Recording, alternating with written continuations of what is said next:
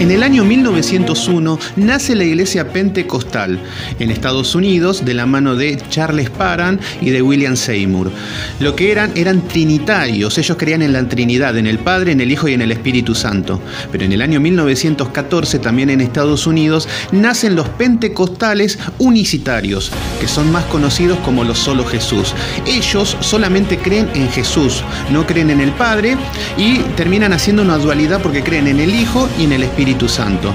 Y la diferencia es que ellos dicen que al bautizar en el nombre de Jesús y no en el nombre de la Trinidad, como dice Mateo 28, ellos dicen de que son salvos. Y los que no están bautizados en el nombre de Jesús están perdidos. Por eso ellos terminan jactándose de que dan la salvación a la gente bautizándolos en el nombre de Jesús.